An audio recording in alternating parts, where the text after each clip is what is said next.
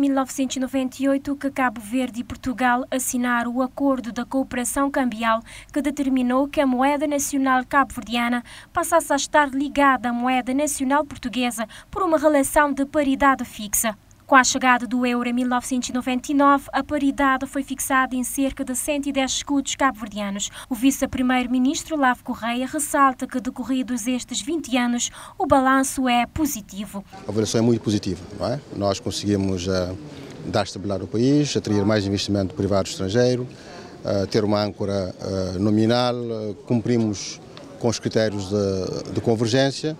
Como é óbvio, 20 anos depois, a economia cabo-verdiana hoje é diferente tem uma dimensão diferente e nós podemos perfeitamente aprimorar os mecanismos em termos de funcionamento do acordo. Para o governador do Banco de Cabo Verde, o acordo foi uma boa iniciativa do Estado que permitiu a estabilidade da moeda cabo-verdiana e a estabilidade cambial e diz que neste momento está-se a negociar quais as melhores vias de aprofundamento do acordo. Ademais, a taxa de câmbio fixa do escudo face ao euro tornou-se um estabilizador automático dos preços a nível interno e da economia nacional.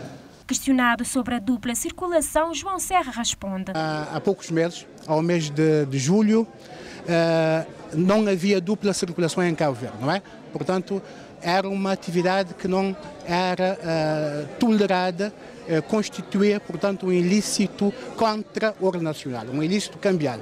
Com a aprovação da nova lei, que liberalizou plenamente os movimentos de capitais, eh, há praticamente dupla circulação. Só que não é uma dupla circulação eh, forçada, com caráter legal, mas quem quiser receber outras moedas que não o escudo, pode o fazer, já não é proibido. E no âmbito dos 20 anos da cooperação cambial, realizou-se uma conferência para refletir sobre o aperfeiçoamento e aprofundamento do regime cambial no país, subordinada ao tema Perspectivas da evolução do regime cambial em Cabo Verde.